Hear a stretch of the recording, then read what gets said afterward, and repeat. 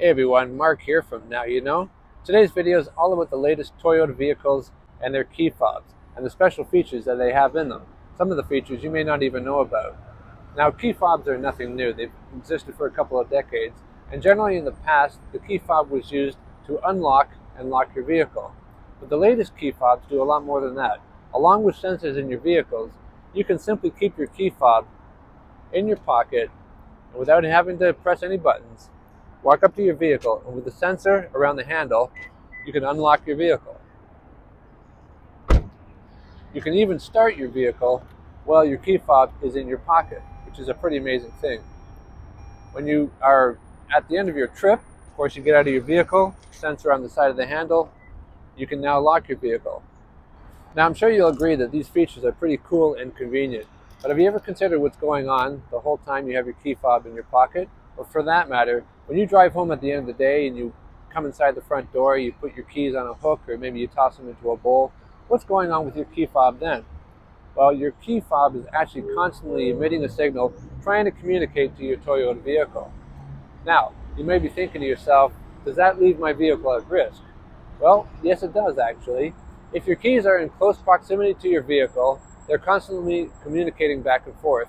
Now, a car thief can actually drive around the neighborhood spot late model vehicles, and they can actually use software on a computer to try to boost that signal, capture that signal, and transfer it onto a blank key fob, making it easy for them to get into your vehicle and to drive away with it. Now, the other thing about your key fob too is that since it's constantly emitting a signal, it's always using the battery.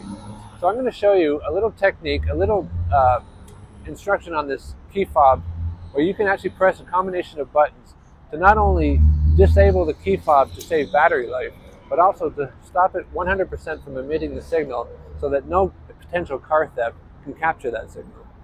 Now on this 2019 Toyota Corolla hatchback, I can lock the door in two ways. There's a sensor on the handle, which locks the door, or I could hit the top button on the key fob. But as we discussed, this key fob is still consistently setting out a signal. I can put these keys in my pocket grab the handle, the sensor in the handle allows me to open up the door. So this vehicle is not 100% secure. So let's try this again. We'll close the door there. I can lock it either by touching the sensor or by hitting the top button on the key fob. But one thing I'm going to do is I'm going to disable this key fob entirely. And the way I do that is I'll press the top button, that's, that is the lock button, and then I'll hit the unlock button just below it twice. The key fob will show me uh, two flashes and then two more flashes. Now I can put this in my pocket or put this in my home. Even in myself, if I walk up to the, the uh, car and I have the keys in my pocket, I can't open the door. I can't even start this vehicle. I can't do that until I pull my key fob out and I press any of the buttons on the key fob. Now I walk up to the vehicle, back in business. So I'm just going to show you one more time. You'll hold the top button, which is the lock button, followed by two presses of the unlock button.